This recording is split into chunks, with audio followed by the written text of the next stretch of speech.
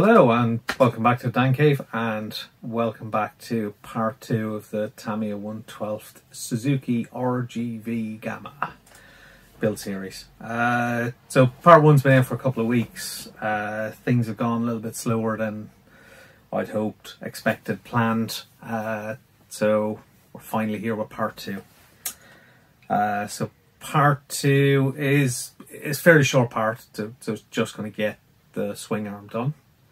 Uh, so some of the components have been primed already, so we're just going to paint them up, uh, do some of the detail painting, get them assembled, uh, and get that bit done. So probably runs for a little over 20 minutes, so quite a short part.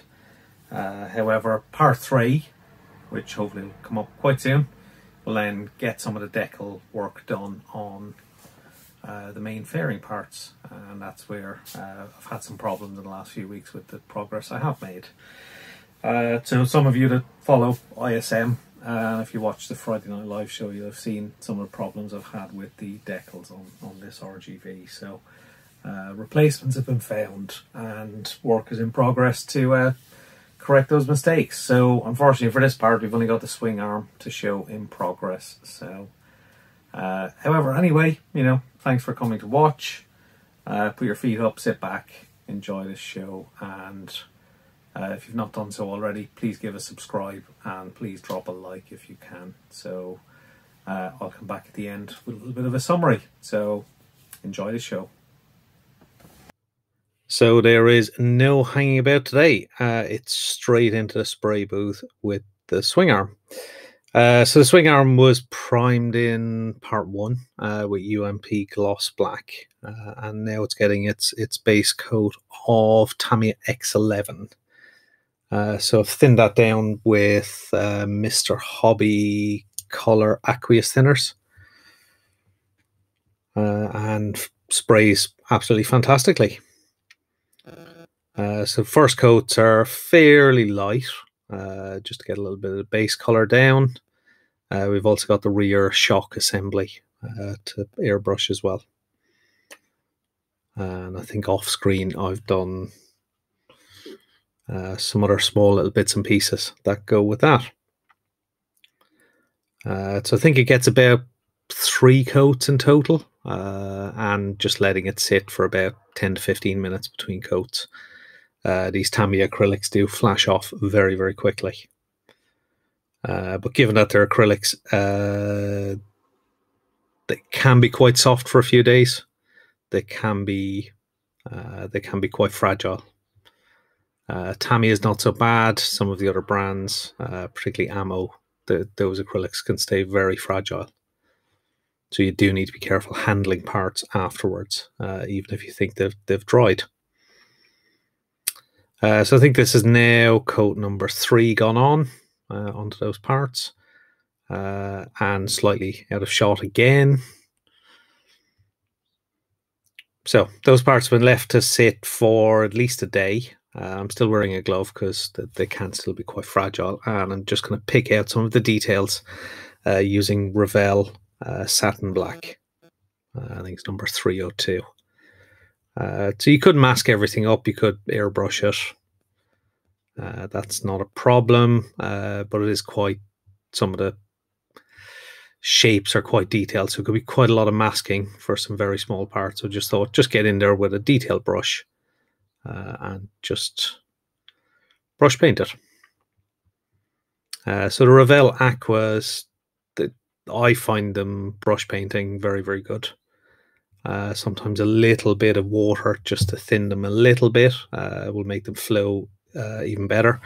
Uh, sometimes add a little bit of flow improver as well, particularly if it's a large area, and that just helps kind of slow down that drying process and helps them self level a little bit better.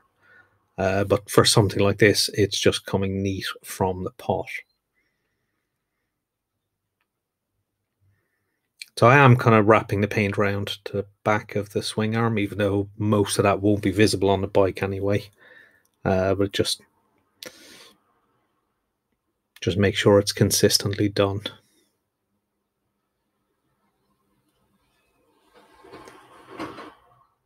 So the brush I'm using here today is a one of Revell's fine paint brushes. Uh, so they've got got a triangular handle on them and they're quite thick. So they're actually quite, I find them quite comfortable to hold. They do sit quite neatly uh, in my hand.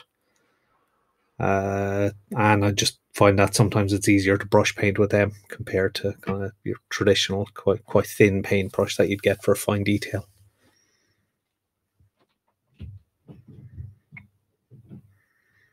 So we're continuing on with the little bit of brush painting work that we want to do. There's quite a few, well, there's a handful of little parts on the swing arm that are uh, mounted separately and painted in semi-gloss black or satin black. So once I'm all happy with that, uh, so rear shock, so the central part of the shock, so that's going to get masked up because uh, the top end of it, I think is airbrushed in uh, titanium gold X31, I think it is. So it's just a quick little masking job. We'll mask around the kind of main uh, oleo of the shock and then mask around the bottom end, which will stay in its original color, and that'll go off for airbrushing. Uh, the other end of the shock assembly with the reservoir on it, that also needs to get masked up. Uh, the reservoir itself is supposed to be painted in, I think it's XF19 Sky Grey, which I didn't have to hand, uh, so I just picked out a similar sky grey colour that I had. Uh, I think it's an ammo sky grey.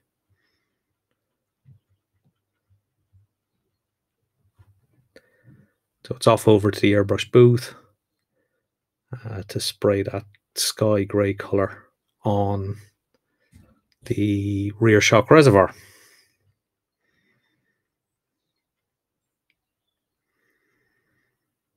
And once again, I'm out of shot.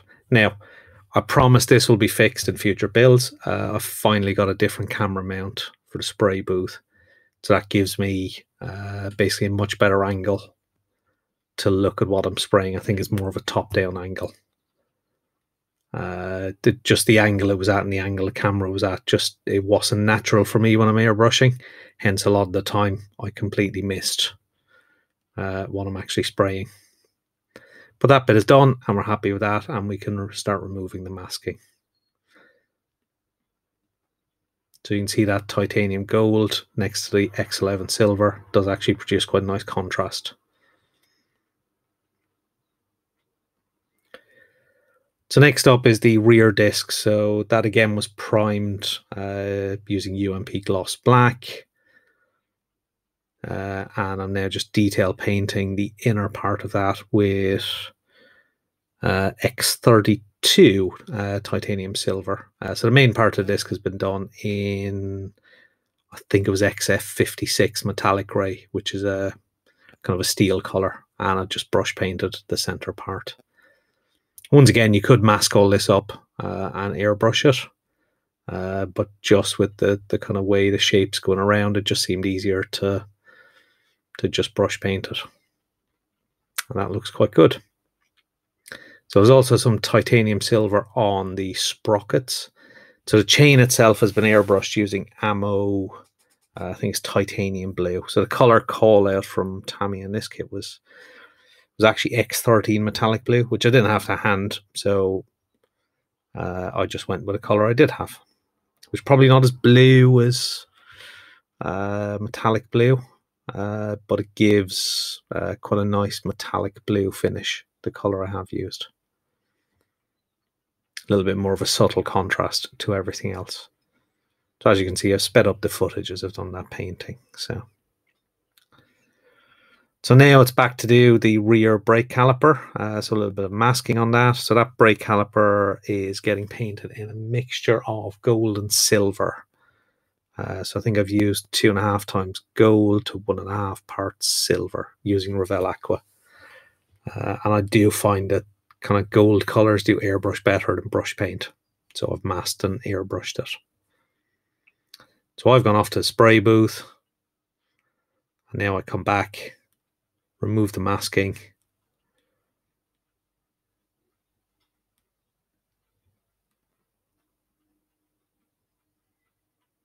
Well, attempt to remove the masking. And that part is done.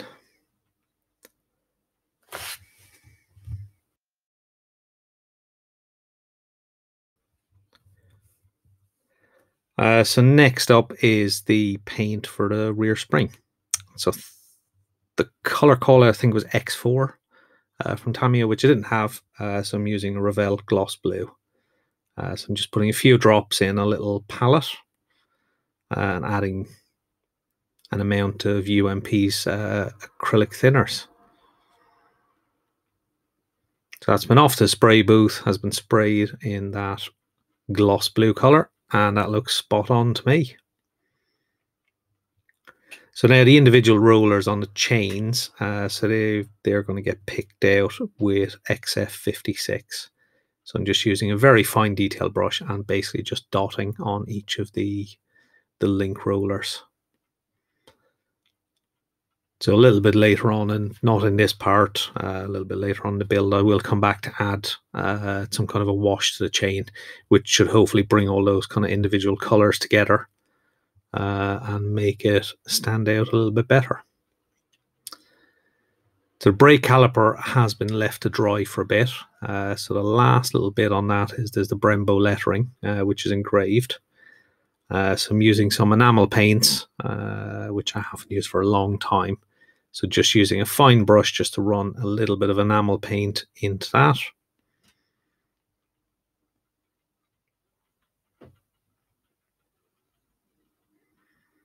So really I'm just putting down enough to fill uh, the embossed details and then I'm using a cotton tipped uh, cocktail stick with a little bit of Winsor Newton Sansodor. Uh, so some odorless, some odor, odorless mineral spirits. Oh, that was a mouthful. Uh, just to clean off the excess enamel paint. And of course, that mineral thinners will not affect the underlying acrylic paint.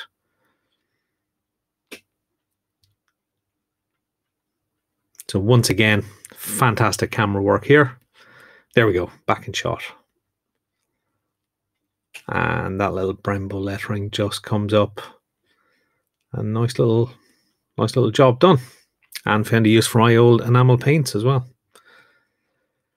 Uh, so the top of the rear shock uh, and the reservoir is painted in copper, I think, or dark copper. So that was masked up like most of the other parts using uh, Tamiya masking tape.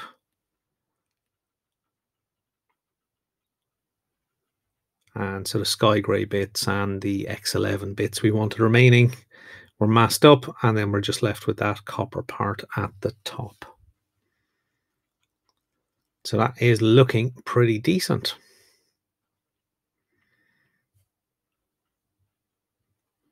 So all the individual bits have, you know, they all have quite a little bit of kind of detail painting on them.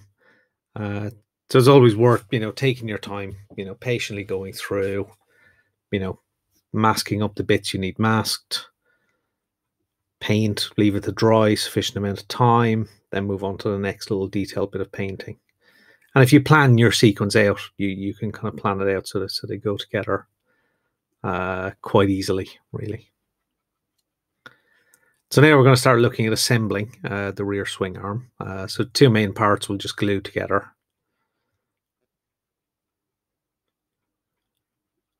And I'm just kind of looking to see how well they fit together. Uh, so obviously there's a little bit of overspray from where the X11 and the primer went down.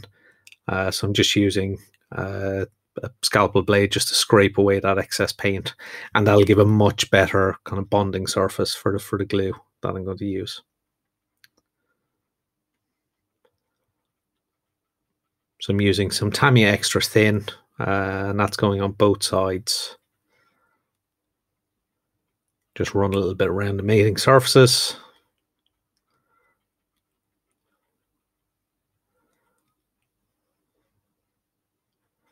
So even if there is some remnants of paint, the Tamiya Extra Thin will, will cut through it pretty well. And those parts can get pushed together. Uh, so I'm just going to bind them together using a clothes peg. Uh, and that'll help uh, make sure they're, they're perfectly aligned and well glued together. So that's set aside to cure for a number of hours. Uh, once I'm happy with that, I can just pop in the chain. So that's not glued in, that's just slotted in uh, and put over a little hub where it sits at the back of the swing arm. So with that in place, the, the next bits to go on are the rear shock assembly. So that needs to be assembled first. And there is a couple of parts and steps for that. So there is one of the longer screws, uh, goes up through the top of the shock. Uh, so that'll get screwed in. And on the very top of that, there'll be a little nut will go on later in the build process where that rear shock attaches uh, to the back of the frame.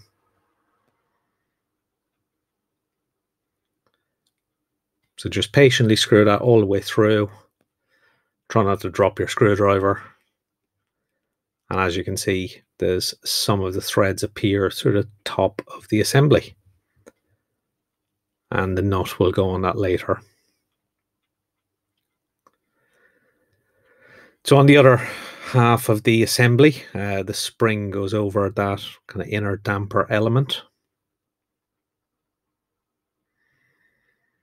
So again, at this stage, because the, the spring is metal, these are acrylic paints, you do need to be quite careful that you don't chip or damage the paint. So the spring is slightly in compression, not by much. Uh, so I'm just looking to check for the clearance. So it doesn't quite fit over, so you need to compress the spring a tiny amount just to get that uh, end of the shock to slide on over. And once it's in place, uh, it's nicely well retained. And then there's a small little piece to glue in, and that basically secures the assembly. Make sure it can't slide back off again. So that's it. That's pretty much the rear shock done as well. Uh, we can now fit that to the swing arm. Uh, there is a screw that will attach through uh, the brackets on the swing arm. There we go. I've got that screw in place. Now got it in shot as well. Well done to me. And that screws all the way through. Once again, trying to drop your screwdriver.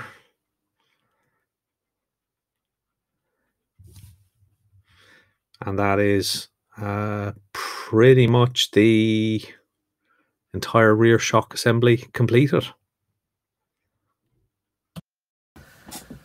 So uh, that's part two complete. As you can see, a fairly short part. Uh, I've padded it out maybe a little bit. Uh, but yeah, so covers getting the swing arm, uh, uh, getting that airbrushed, a little bit of detail paint, uh, a few other bits and pieces, get the chain done and, and, and paint it up. So th there's probably still a step to go in terms of adding a little bit of a wash to some of the parts on that. Uh, but because it's not quite into final assembly, I didn't really want to do that yet uh, until I know exactly how the overall bike uh, is going to look when the you know when the engine gets done a little bit as well. Uh, so yeah, so, so, that was fairly straightforward. Uh, I think the seam line, as I mentioned in the video, I, am still debating whether I go back and maybe smooth that down and give it a little bit of a touch up with some paint. Uh, it depends on how obvious it's going to be on the bike. I'll need to see when, when the frame is assembled and when I start doing some of that and make a decision. But but other than that, swing arm is done, rear brake disc is done. Uh, so we're all good to go on that. Uh, so thank you all for watching. Uh, if you've not done so already, please give a subscribe and a like and drop a comment if you want to ask any questions or uh, or anything. Uh, just just leave a comment if you like. Uh, always grateful to see the comments from people. So uh, yeah, once again, thanks for watching, and we'll catch you all in the next part uh, coming up soon, hopefully. So that's it for now. Bye bye.